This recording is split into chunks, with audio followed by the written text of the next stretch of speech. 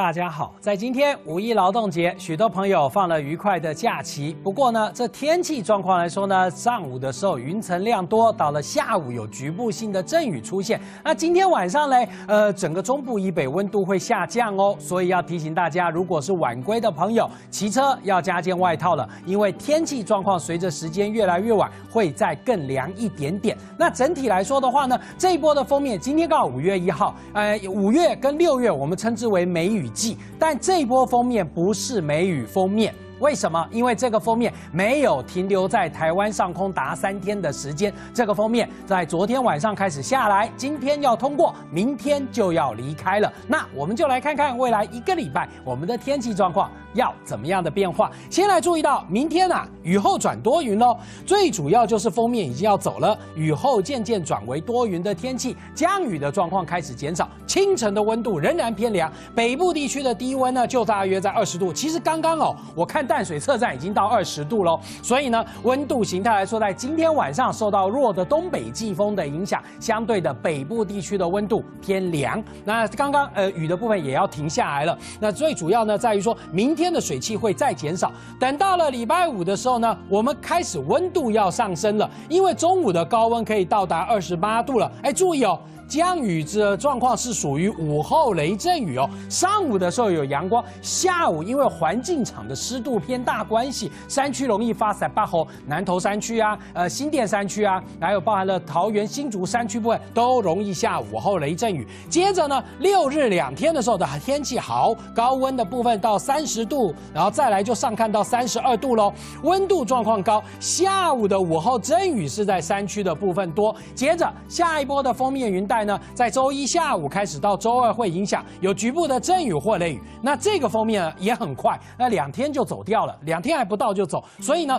我们的来说，以现在虽然进入五月份的梅雨季节，可是这两波封面都不算是一个标准的梅雨封面，只是一个一般的封面哦。今天晚上东北季风影响，北部的温度会略降，周休天气晴朗，闷热的感觉在周休假期很明显。接着我们来看什么呢？看看今天的降雨状况，从这张雨量图。上大家就可以很明显看到，今天的雨的部分最主要呢，就是在整个山区的部分是比较多一些。那这里的标尺你可以看到，大约在四十到五十毫米的雨量。雨的部分来说，在山区的部分多。那我们来看看今天的累积的雨量部分呢，是以在在台中的和平的山区有到了九十六点五毫米。呃，山区雪岭也是三千公尺高山，合欢山呃也是三千公尺高山。你有没有注意到，整个降雨形态来说，最主要都是在山区的侧站比较明。显，那雨量图上可以看到，平地部分虽然有雨，那但是呢，降雨状况都偏少。这里大概只有二十毫米，这边只有十毫米，这里呢，呃，剩五毫米，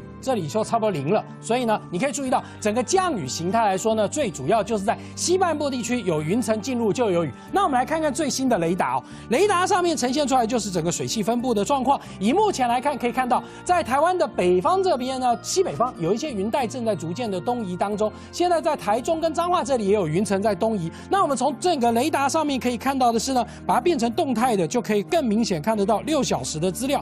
我们就可以更明显看得到整个移动的方向。你可以注意哦，整个水汽的移动方向。那当有水汽在进入的过程当中，就有局部的短暂的降雨状况出现。可是呢，云带走了之后呢，就水汽就减少。而这个云层里面并没有什么标线这些，没有刨线哦，都没有哦。因为最主要云带的发展是要持续有一个点打入同一个地方，像这种只是一个对流云层通过，这不是标线。哦啊，不要被有些台给搞混喽，因为实际上那个定义上是非常的明确，只是呃很多记者搞不清楚那定义哦。那我们再来看一下这张彩色色调强化云图，云图的发展当中可以注意到，封面的前半段的部分正在东移，后半段的封面的水汽将要逐渐的往北抬升。那我们从地面图上就可以注意到，高压系统已经开始下来了，冷高压带进来凉凉的冷空气，所以温度的形态来说呢，在现在晚上的时候呢，明显的是一个比较偏。凉的状况，哪里的温度最凉呢？我们现在这时候就来看一下，今天目前的话，以局属测站的低温的部分，就可以很明显看得到，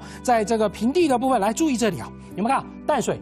现在呢，二十度哦，呃，时间点是七点二十三分的时候，新北呢在新店车站了，所以你可以注意到整个温度的形态来说，随着在今天晚上的东北风的增强，相对的感受上来说，明显的要转凉了。那明天呢？明天啊，封面的前半段走了。后半段的水汽开始往北抬升，然后再形成另外一道封面。哎，那北方的高压呢？北方高压明天的时候，它就逐渐到达韩国的南方的位置，开始逐渐我们的风向要渐渐的变为一个偏东北东风风进来。所以整体来说，我们的天气状况来说，在明天雨后要转多云了。接着后天的时候呢，天气状况随着整个风场开始变为偏南风，温度又要开始偏高。那到了周休假期的好天气，你好好安排活动，唯一要注意，山区露营的话会有。在八号出现哦，下个礼拜刚刚说到提升到这个抬升到了这个长江流域的封面云带再度接近降雨状况，到了下周一到周二的时候又会再度出现。不过下一波的封面系统对于中南部影响层面是偏少的。那我们再来看温度了，先注意到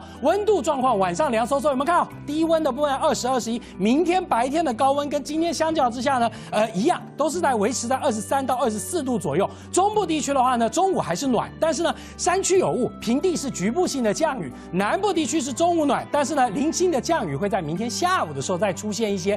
呃，东半部地区还是要注意，还是有余震哦。山区小心有落石的状况。而外岛地区要注意的是，温度今晚凉，而且有雾的状况。未来一个礼拜可以看到五，哎，天气更好，午后阵雨，六日都是好天气，这塞班好哦。到下周一二周，封面云带再接近，有点雨。下周三天气好转，外岛地区要注意是有雾。小叮咛，两件事情要提醒，哎，早晚凉，骑车要保暖，局部阵雨，外出活动还是。要备个雨具。我是戴立刚，也是气象专家，十八年的气象主播位置，告诉你最准确的天气讯息。当然，更重要的天气内容呢，就要锁定我们中视气象台。更多的新闻信息内容，锁定中视 YouTube 频道，按赞、订阅、分享，开启小铃铛。